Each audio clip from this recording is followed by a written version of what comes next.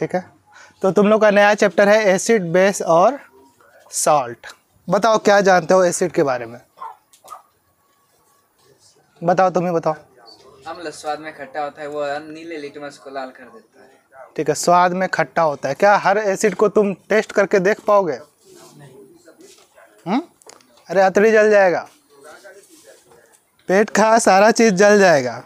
तो? बैठो बैठो। Acid, base and salt. तो सबसे पहले हम लोग जानेंगे एसिड किसे कहते हैं। और इस तरफ़ रखते हैं बेस को। तो कुछ कुछ पॉइंट लिखेंगे। पहला क्या है? तुम लोग जो बोले, स्वाद में खट्टा होता है एसिड। और बेस कैसा होता है स्वाद में? बेस टेस्ट की हो क्या? एसिड टेस्ट की हो कुछ भी? नहीं। नींबू खाया है कोई क्या? दही खाया है क्या क्या? तो एसिड टेस्ट की हो तुम लोग? नींबू में कौन सा एसिड होता है? Citric acid. और? दही में लैक्टिक एसिड। ठीक है। और आम भी खाया क्या कच्चा वाला? उसमें कौन सा होता है? नहीं। उसमें मैलिक एसिड होता है। ठीक है चलो कोई बात नहीं। एसिड क्या बोले तुम लोग? स्वाद में? स्वाद में खट्टा होता है।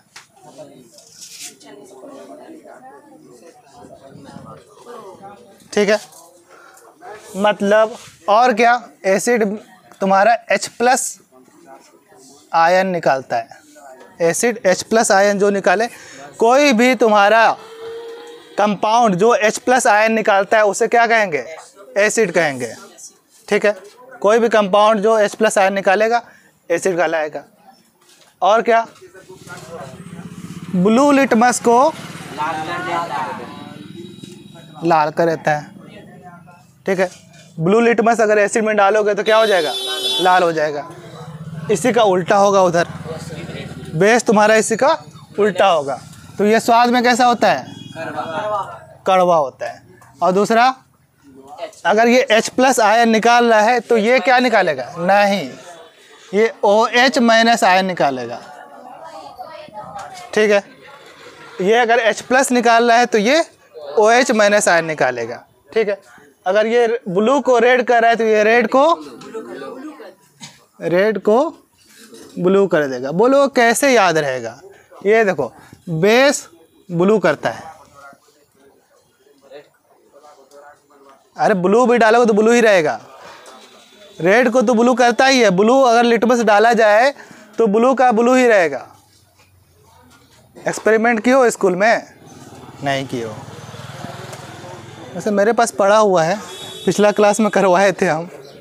ठीक है। तो इसी तरीके से याद करना है। बेस ब्लू करता है। बेस ब्लू करता है। एकदम दिमाग में बिठा लो। बेस ब्लू करता है। तो उल्टा इसका करता है। एसिड क्या करता है? रेड करता है। ठीक? ऐसे याद रहेगा। चलो कुछ तो समीकरण से देखते हैं। जैसे, अब इसमें खास बात, एसिड तीन तरीके का होता है। नहीं, दो तरीके का होता है। एक स्ट्रांग और एक वीक तो एसिड किस किस तरीके का हो गया?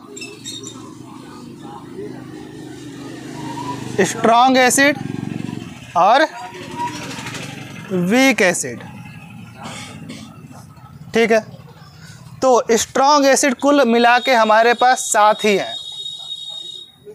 पहले ये जानो स्ट्रांग एसिड क्या होता है, वीक एसिड क्या होता है। तो स्ट्रांग एसिड वो होता है जो पूर्ण रूपेण आयंस में टूट जाए। जो पूर्ण रूपेण आयंस में टूट जाए। जैसे H C L weak acid को ना इस तरफ़ रखते हैं। वीक एसिड बाद में बताते हैं। जैसे तुम्हारा एच सी एल इसको जैसे पानी में डालोगे ना, पानी का सूत्र पता है ना? एच टू पानी में जैसे डालोगे, ये H प्लस और सी एल माइनस निकालेगा। पूर्ण रूपेण टूट जाएगा। अगर मान लेते हैं 10 मोलिकुल एच का डाला गया तो 10 में से 10 एच एच प्लस और दस सी एल माइनस में टूट जाएगा। समझ रहे हो? ये रिएक्शन का मतलब समझो। ये यहाँ पे लिखा हुआ है एक। यहाँ पे भी एक, यहाँ पे भी एक। मतलब क्या हुआ? अगर एक एच सी एल टूटेगा तो एक एच प्लस और एक सी एल माइनस निकालेगा। ठीक है? उसी तरीके से दूसरा देखते हैं। H two S O four ये टूटेगा तो दो एच प्लस निकालेगा और S O four two minus निकालेगा। मतलब क्या हुआ? एक H two S O four टूट करके दो एच प्लस आयन और एक S O four two minus ion बनेगा। ठीक है? तो ये पूर्ण रूपेण टूट जाता है। क्या होता है ये? पूर्ण रूपेण टूट जाता है। लेकिन अब देखो C S three C double O H ये भी एसिड है। ये भी एसिड है। ये टूटेगा किसमें? C S three C double O minus और एच प्लस में। ठीक? लेकिन अगर ये दस मोलिकूल दिए तो मात्र दो ही टूटेगा और आठ का आठ ऐसे रखा रह जाएगा। समझ रहे हो? मतलब पूर्ण रूपेण ये नहीं टूट रहा है। जो पूर्ण रूपेण टूट गया, वो हो गया स्ट्रांग मज़बूत? है ना? और जो आंशिक रूप से टूटा, उसको कहेंगे कमज़ोर मतलब वीक ठीक है? बोलो समझे। ठीक। तो स्ट्रॉन्ग एसिड हमारे पास कुल मिला के सात ही है। कुल मिला के कितने हैं? सात। कौन कौन से? इसको ध्यान में हमेशा रखना है। H C L hydrochloric acid ठीक है? H B R hydrobromic acid ठीक है? H I hydro iodic acid. ठीक है? और कौन सा? H two S O four sulphuric acid. ठीक है? ये सबको जैसे पानी में डालेंगे, पूर्ण रूपेण टूट जाएगा, सारे आयंस में बदल जाएँगे। ठीक? और कौन सा है? कितने हो गए? तीन चार। H N O three nitric acid H N O three nitric acid और कौन सा है? H C L O three और H C L O four सात हो गए, देखो तो। हो गए। ये हो गया क्लोरिक एसिड, ये क्लोरस एसिड। सी एल है ना? क्लोरीन जैसा कुछ टर्म होना चाहिए। तो ये हो गया क्लोरिक एसिड, ये क्लोरस एसिड। समझ गए? अच्छा एक बात और। तुम लोग ये जानता है क्या है, ये S two S O four है, एक होता है S two S O three ये भी एसिड है है ना? ये सल्फ्यूरिक एसिड ये सल्फ्यूरस एसिड तो क्या बदलाव आया? यहाँ पे एक एसिड है, यहाँ पे अस एसिड तो जिसमें ऑक्सीजन ज़्यादा, वो कहता है एक एसिड जिसमें ऑक्सीजन कम, वो अस एसिड तो ये क्लोरिक एसिड ये क्लोरस एसिड समझ में आया? नाम कैसे लिखा जाता है? ठीक है, इसको लिखो.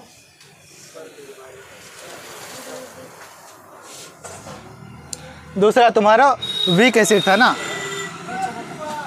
वीक एसिड इसका कुछ एग्ज़ाम्पल लिख लो. एग्ज़ाम्पल तुम्हारा. C H three C double O H और कौन सा? S two S O three बहुत सारा एग्ज़ाम्पल है इसका। जितना भी बाकी बचा हुआ सिट्रिक एसिड मैलिक एसिड सारा क्या है? वी वीक एसिड लिखा जाए। तो एच सी एल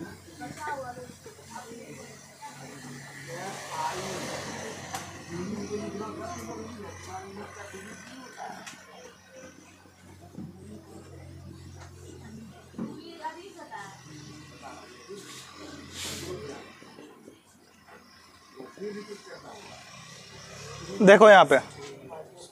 ये हाइड्रा मतलब क्या होता है? देखो, दो चीज़ें। एक होता है हाइड्रा एक होता है हाइड्रो जहाँ पे हाइड्रा हो गया, वो पानी बता रहा है वो। वो क्या है? जल है। एच है। और हाइड्रो जहाँ हो गया, वो हाइड्रोजन का बात कर रहा है। तो ये क्या है यहाँ पे? हाइड्रो लिखा हुआ है। मतलब हाइड्रोजन और फिर क्लोरिक एसिड हाइड्रोक्लोरिक एसिड। ठीक है? समझ रहे हो?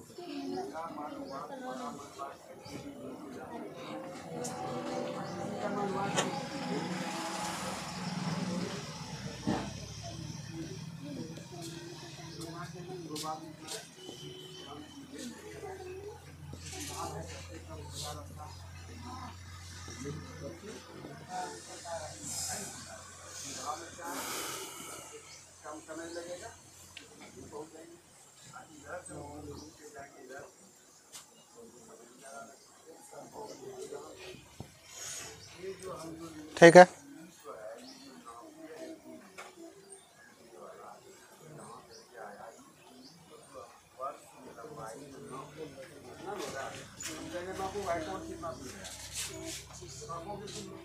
तो अब लिखो। स्ट्रॉन्ग एसिड का डेफिनेशन लिखो।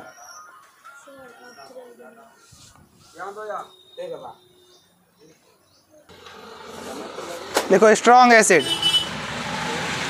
ऐसे एसिड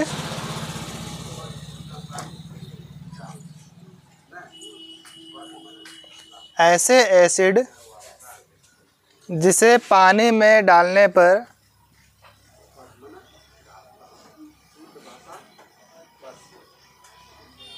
ऐसे एसिड जिसे पानी में डालने पर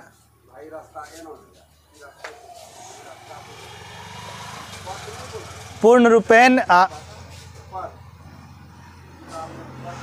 ऐसे एसिड जिसे पानी में डालने पर पूर्ण रूपेण आयंस में टूट जाते हैं।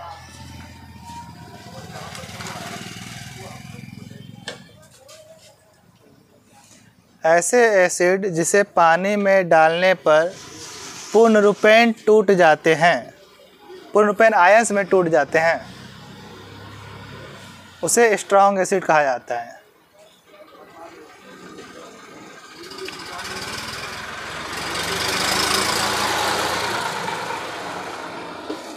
अगला लिखो, weak acid.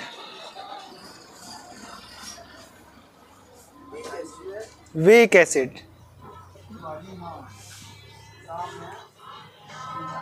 Weak acid.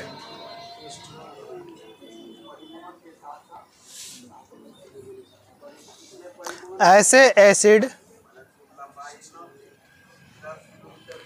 ऐसे एसिड जिसे पानी में डालने पर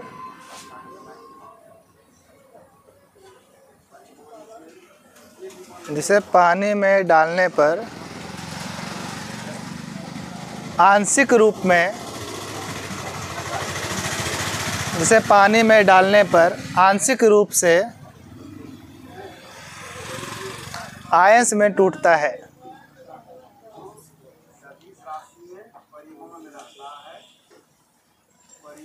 ऐसे एसिड जिसे पानी में डालने पर आंशिक रूप से आयंस में टूटता है, उसे वीक एसिड कहते हैं।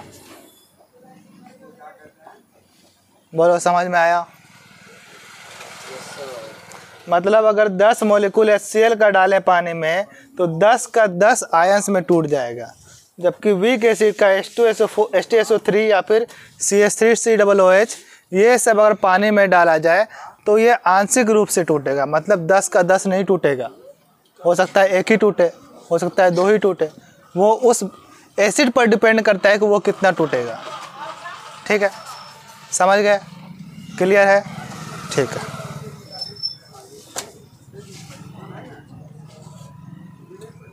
हम्म। अब एसिड अगर तो स्ट्रॉन्ग बेस क्या होगा? जो पूर्ण रूपेण आयंस में टूट जाएगा, उसको स्ट्रॉन्ग बेस कहेंगे। ऐसा बेस जो पूर्ण रूपेण आयंस में टूट जाए, वो हो जाएगा स्ट्रॉन्ग बेस जो आंशिक रूप से आयंस में टूटेगा, वो हो जाएगा weak base weak base base के बारे में बात कर रहे हैं तो बेस तुम्हारे कितने प्रकार के हो गए? दो प्रकार के। स्ट्रॉन्ग बेस और वीक बेस तो स्ट्रॉन्ग बेस क्या होगा? जो पूर्ण रूपेण आयंस में टूट जाए। जैसे तुम्हारे एग्जांपल में ले लेते हैं के ओ एच जो भी पहला ग्रुप है पीरियोडिक टेबल तुम लोग देखा है क्या? उसमें सबसे पहला वाला जो ऊपर वाला लाइन है, सबसे पहला ग्रुप कहा जाता है उसको वर्टिकल लाइन को। एक ऐसे होता है, एक ऐसे होता है, ठीक है? एक ऐसे मतलब पड़ा हुआ पी से पड़ा हुआ पी से पीरियड तो इसको कहा जाएगा पीरियड और जो खड़ा है उसको कहा जाएगा ग्रुप, ठीक है? तो जो फ़र्स्ट ग्रुप का जो ओ OH होता है, ये फ़र्स्ट ग्रुप में आता है पोटासियम। कौन कौन सा आता है? हाइड्रोजन को छोड़ दो, ठीक है? हाइड्रोजन का अभी तक पता नहीं चल पाया है कि वो कौन से ग्रुप में रहने वाला है। वैसे तो पीरियोडिक टेबल में कहा जाता है कि फ़र्स्ट ग्रुप में है, लेकिन अभी तक उसका जगह निश्चित नहीं हुआ है। तुम लोग में से अगर पता कर लिया तो कहाँ रखना चाहिए? नोबेल पुरस्कार दिलवाया जाएगा। सोच लो। ठीक है। लिथियम, सोडियम, पोटासियम, रबोडियम और सीजियम। ये सब का हाइड्रोक्साइड ओ OH यानी क्या? L I O H N A O H K O H R B O H C S O H ये सब क्या हो जाएगा? स्ट्रॉन्ग बेस ये सब क्या हो जाएगा? स्ट्रॉन्ग बेस इसको जैसे ही पानी में डालेंगे तो ये मेटल और इसके बीच का जो बॉन्ड होगा, वो टूट जाएगा। तो क्या देगा? जैसे मान लिया जाए एन को। एन को पानी में डाला जाए तो Na प्लस और ओ एच माइनस में टूटेगा। तो बेस तुम्हारा क्या देता है? ओ एच माइनस ठीक है? इसको कहते हैं हाइड्रोक्साइड ठीक है? लिखो। लिखो स्ट्रॉन्ग बेस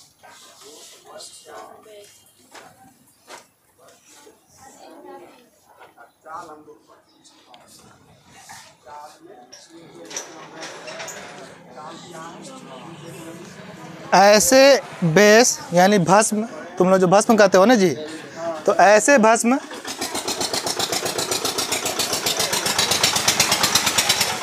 जिसे पानी में डालने पर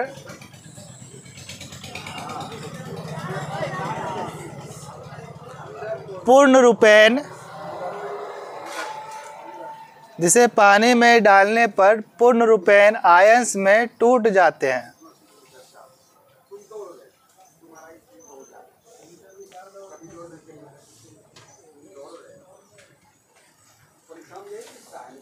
ऐसे भस्म जिसे पानी में डालने पर पूर्ण रूपेण आयंस में टूट जाते हैं, उसे क्या कहते हैं? उसे स्ट्रांग बेस कहते हैं। एकदम मज़बूत वाला, ठीक है? अगला लिखो। स्ट्रांग बेस में ये सब एग्ज़ाम्पल डाल दो।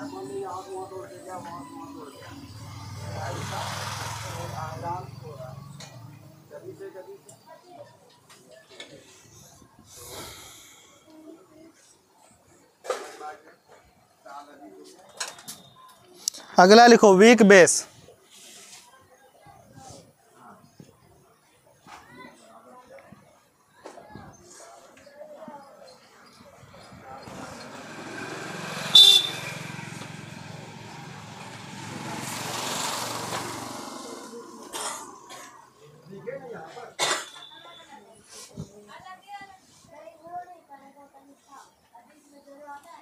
अगला लिखो वीक बेस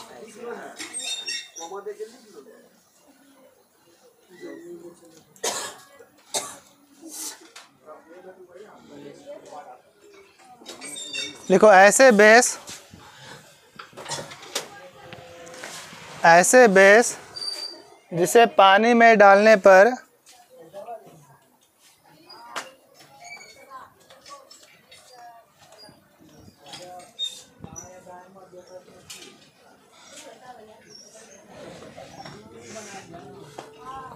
ऐसे बेस जिसे पानी में डालने पर पूर्ण रूपेण आयंस में नहीं टूटता।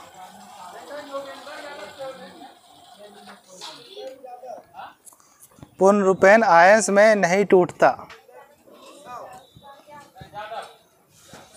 या फिर आंशिक रूप से आयंस में टूटता है, ऐसा भी लिख सकते हो।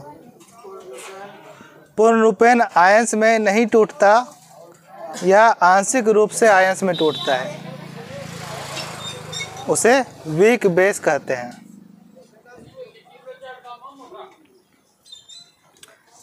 एग्ज़ाम्पल में लिख लो। N H four O H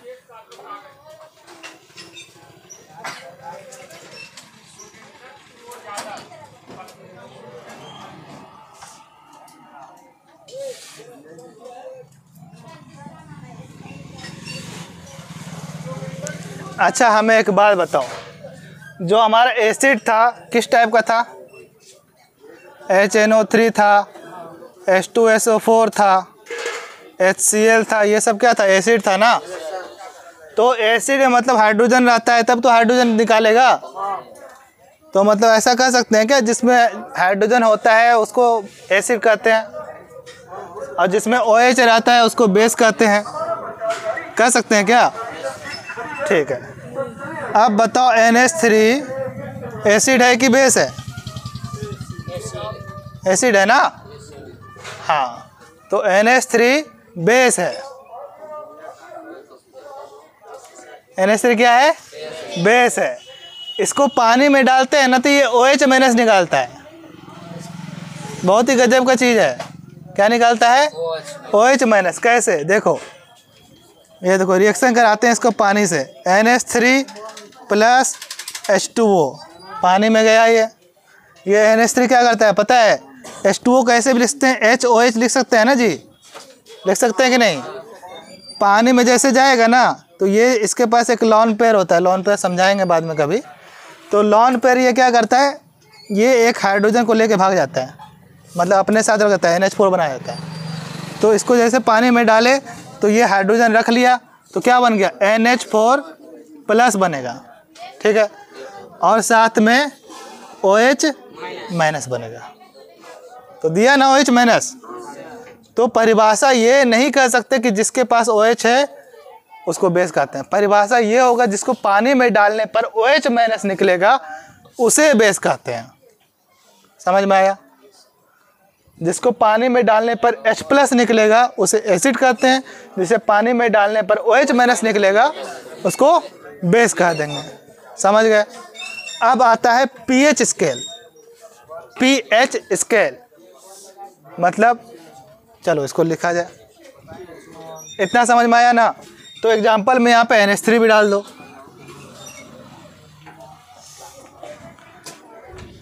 ठीक।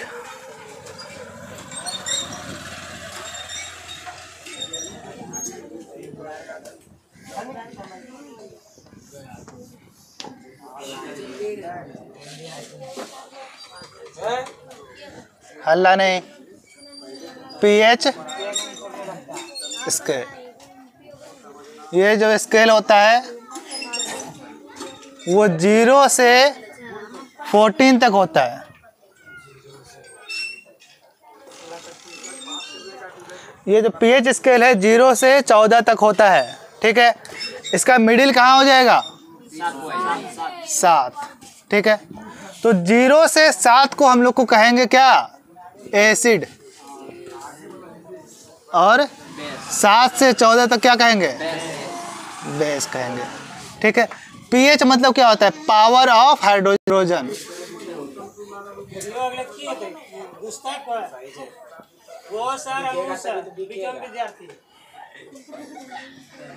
ठीक है?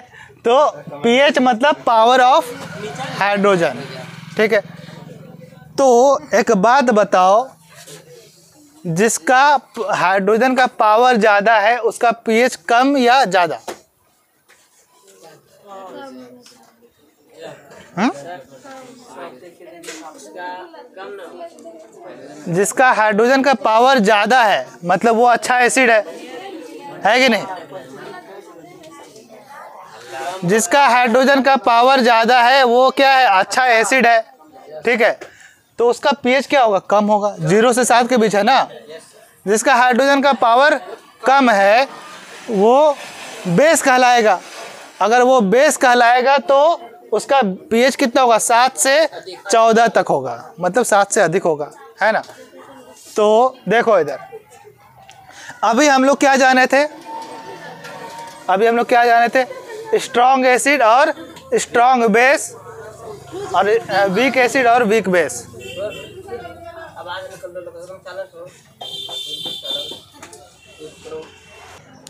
तो अभी अभी हम लोग क्या सीखे? Strong acid strong base weak acid और वीक बेस तो उसका पीएच कहाँ से कहाँ तक होता है, उसके बारे में जानेंगे। जो स्ट्रॉन्ग एसिड होता है, उसका पीएच ज़ीरो से नज़दीक रहता है। इसको क्या कहेंगे? स्ट्रॉन्ग एसिड यानी कि जितना भी अभी बताया H C L hydrochloric acid hydrobromic acid hydro iodic acid और कौन सा बताया H two S O four H N O three H C L O four H C L O three ये सब क्या पीएच क्या होगा? ज़ीरो से नज़दीक रहेगा। ज़ीरो से, लेकिन ज़्यादा रहेगा। ज़ीरो से कम नहीं रहेगा। ज़ीरो से क्या होगा? ज़्यादा होगा। और जिसका पीएच सात से नज़दीक होगा, इस तरफ़ से मतलब सात से कम, लेकिन सात से नज़दीक रहेगा। इसको कहेंगे वीक एसिड, ठीक है?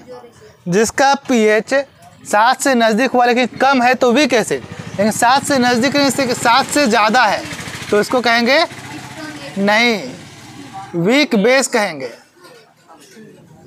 ठीक है? समझे?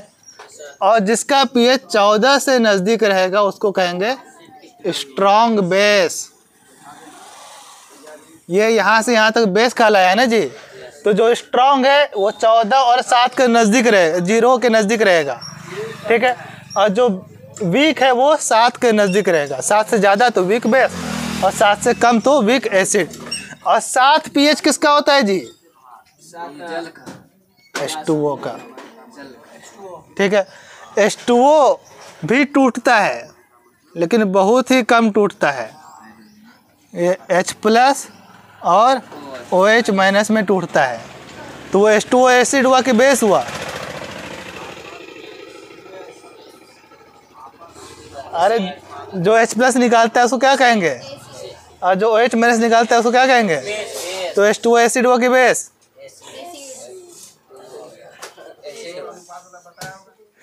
एस टू कुछ नहीं होता है, ना एसिड होता है, ना बेस होता है।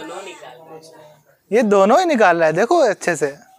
एच प्लस भी निकाल रहा है और एच माइनस भी निकाल रहा है। तो ना एसिड हुआ, ना बेस हुआ। वो न्यूट्रल कहलाता है। मतलब वो एकदम न्यूट्रल है। उसको ना एसिड कहा जा सकता है, ना बेस कहा जा सकता है। समझे बात? तो इसको लिखो, ये पीएच स्केल को लिखो। हाँ जैसे जैसे पूरा वैसे लिखना है। तो हम लोग को पता चल गया एसिड बेस का पीएच के बारे में। अब है हम लोग का एसिड का रिएक्शन अलग अलग चीज़ों के साथ। अच्छा कोई देखा है क्या जब ये मेला वेला में गुब्बारा मिलता है उड़ने वाला? क्या भरा होता है उसमें? Hydrogen gas. कैसे बनता है?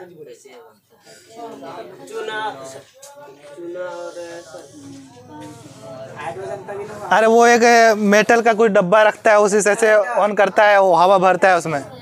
है ना? एक सिलेंडर रखता है, उसमें हाइड्रोजन गैस भरता है, ठीक। तो बनता कैसे है? वो तो सिलेंडर से भरा।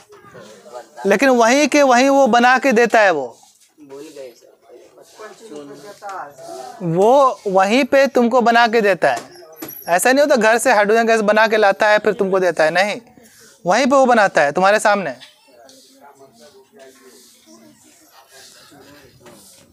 चूना। चूना क्या होता है जी? सी ए सी ओ थ्री बोल रहा है ना? सी ए सी ओ थ्री। इसमें हाइड्रोजन कहाँ है? हाँ? हाइड्रोजन तो है ही नहीं। कैसे देगा hydrogen? C A O H का होल टू। यही ना? तो ये तुम्हारा ऑटोमेटिक रिएक्शन करता है, पता है क्या? C A C O three. ये इसमें सी ओ टू ऑक्सीजन से लेता है, और प्लस एस टू ओ निकालता है। हाइड्रोजन तो निकला ही नहीं। और बताओ। अरे सिंपल सा बात है एसिड पढ़ा रहे हैं। तो एसिडे से कुछ ना कुछ होता होगा ना जी? हाँ? चलो, बताते हैं।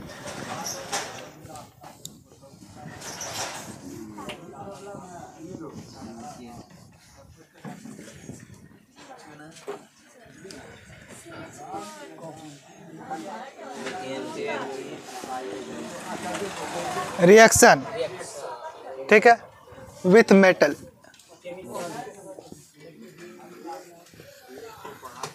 तो एसिड एसिड को आज से हम लोग पता है कैसे दिखाएँगे? एम एच से. एम एच इसके पास हाइड्रोजन है। है ना? एम एच से एसिड को दिखा दिए। और इसको रिएक्शन कराएँगे हम किसी मेटल से एज दिखाते हैं।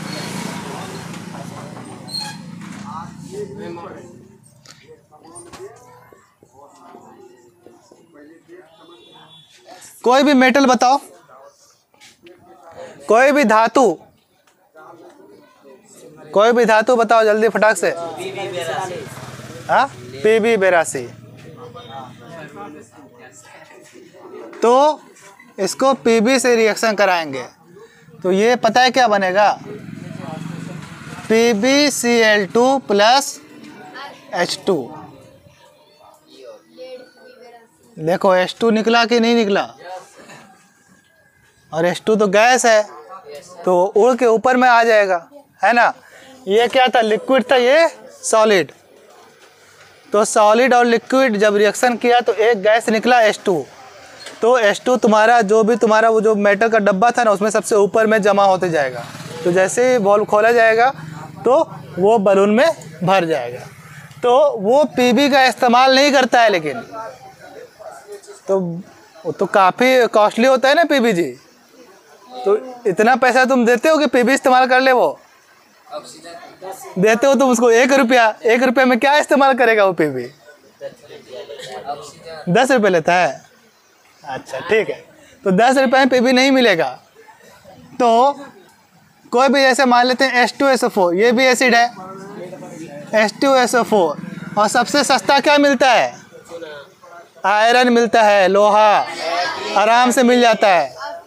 ठीक है? तो यहाँ पे आयरन डाल दिए। तो क्या बनेगा? F E S O four plus H two तो यहाँ पर क्या निकला? एच टू निकला ना? तो किसी भी एसिड को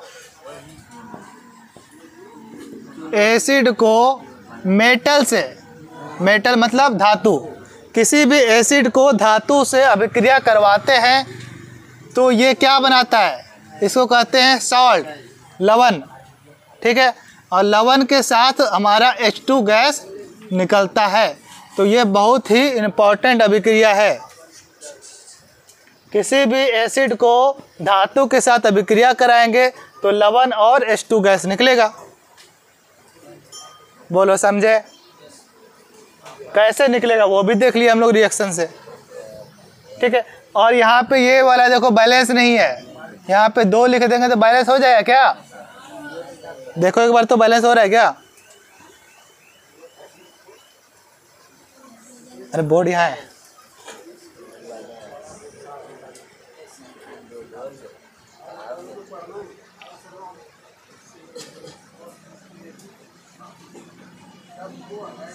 ठीक है, आज के लिए इतना ही रहेगा। आज के लिए इतना ही रहेगा। इसके आगे हम लोग नेक्स्ट क्लास में पढ़ेंगे।